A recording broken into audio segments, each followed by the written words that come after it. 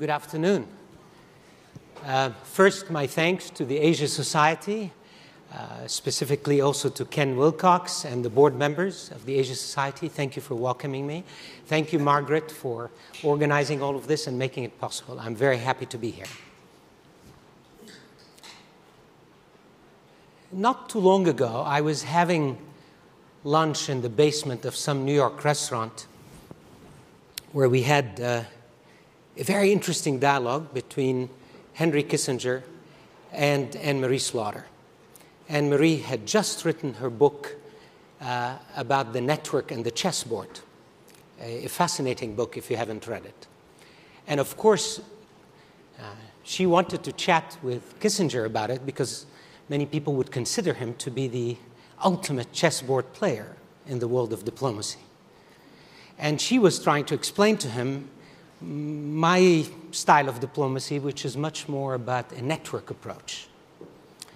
And I do think that in that lunch and beyond that lunch, and in some of the experiences I'm going to share with you, understanding that the way we deal with each other is now far more complex than a chessboard is very important the relationships we need to build in order to advance the affairs of the world, especially in this new complex transnational digital space we're all trying to live in, is very important to understand that there are many dimensions to building relationships. It's no longer linear. I'll tell you one experience. A few years ago, I was responsible for this organization that manages the 13 roots of the internet.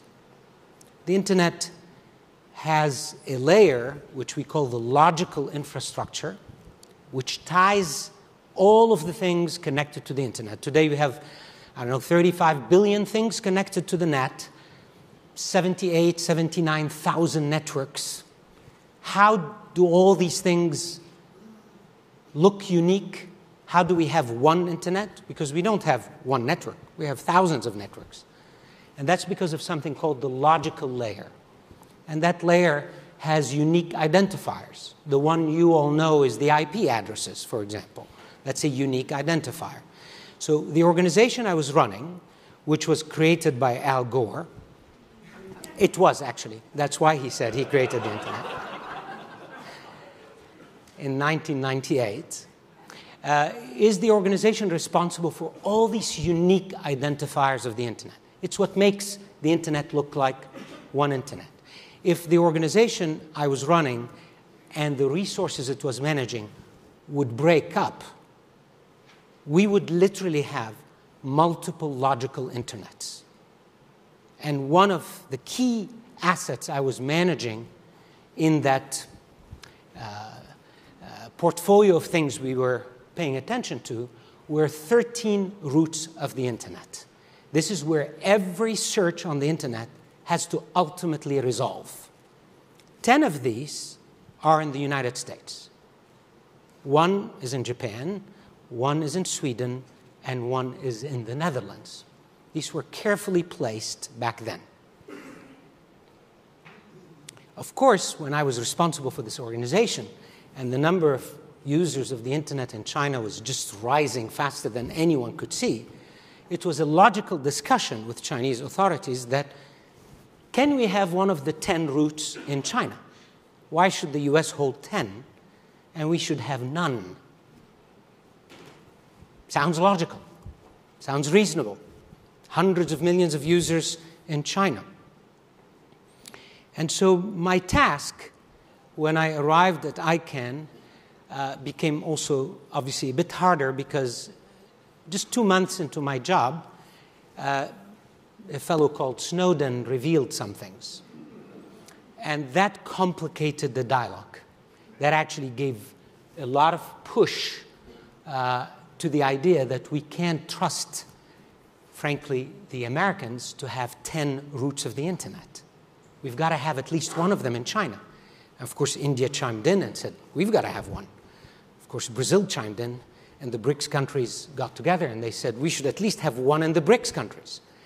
And my job as the lowly head of a small, he therefore unknown organization called ICANN was to tell the Chinese and the Russians and all of these people no, we're not going to give you a root.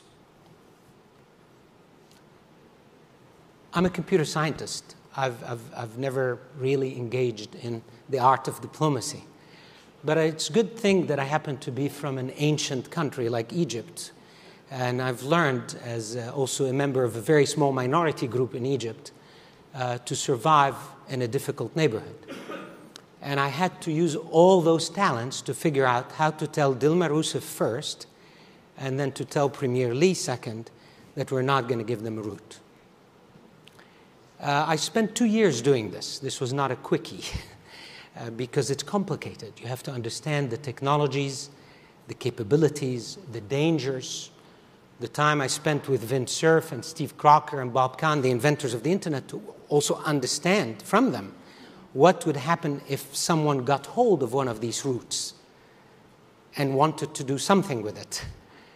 Very complicated. So, good thing I was an engineer. But the more difficult part was to actually engage with China in a very open way to discuss the concerns we have about the root of the internet. I will tell you that there was a point that is not known, and I'm not sharing this typically publicly, but there was a point where China had actually built a complete separate root for the internet and it was working. We sent engineers to confirm that. The idea was we would just turn it on. And if they did, it would have worked. We would have had a, a device pointing to IBM.com in China go to a completely different machine than all the other searches for IBM.com, which would go typically to an IBM server in Armonk or something like that. And that moment became difficult after Snowden because the Chinese got Brazil and Russia and South Africa. At the time, Modi wasn't in place, so India was in election mode, so they couldn't get India on board.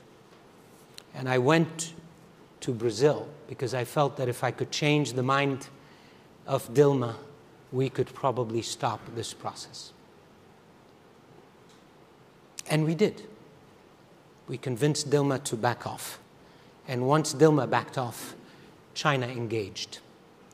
Um, look, there's a lot of detail around this, but I wanted to just share with you that even in very delicate, complex discussions around digital rules and digital policies, there are ways for us to engage. There are common areas where we can actually find and uh, implement a set of guardrails that give us some common ground. It is possible. And engagement uh, requires art, not just laws. My son informed me not too long ago that he intends to uh, make a life partner out of someone from a different religion than ours. And my wife and I and him sat down and we had to have some chats about that. And it was very complex to do that because I come from a deep tradition. And I was trying to help him understand that in engaging with this person and with her family that he needs to understand that there are certain values upon which you have some beliefs, upon which you have some traditions.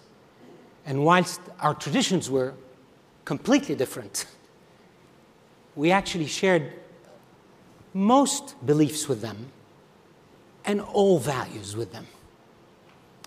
And that's, I used my experience with China to help him because it's very similar. When I was engaging with the Chinese government and leaders to avoid the breakup of the logical infrastructure of the internet, I would liken the values, beliefs, and traditions to common principles, guardrails, and policies. And I do think we were able to agree on common principles. For example,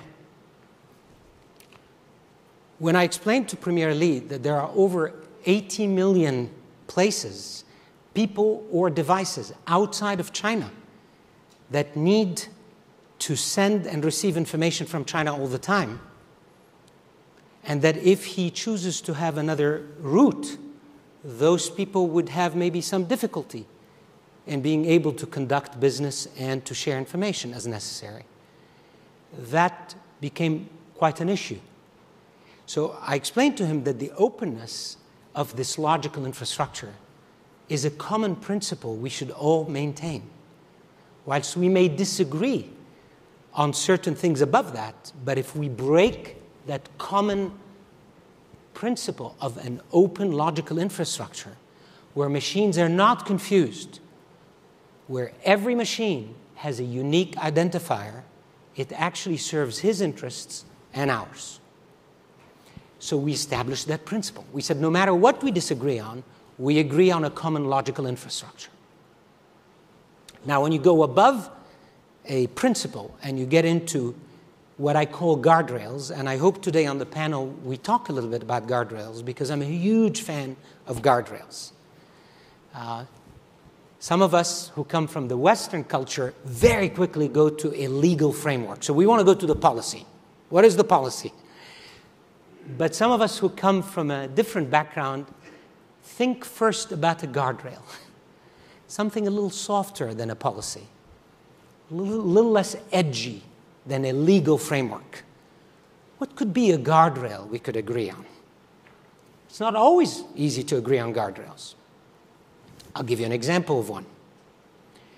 The uh, Carnegie Endowment for Peace went out a few years ago to the countries that have nuclear arms and ask them, hey, which cyber weapons are you willing to give up if the other person gives them up.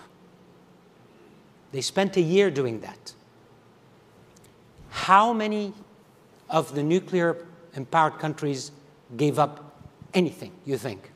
How many agreed to give up one cyber weapon if the other would agree to do the same? Kind of like in the nuclear non proliferation treaties. The answer is zero. Nobody would give up anything. schools, hospitals, you name it, they tried everything. No one gives up anything.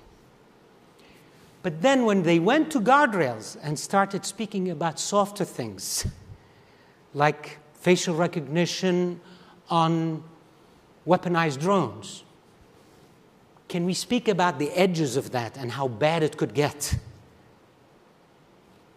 It's easier to get to guardrails than to hard rules.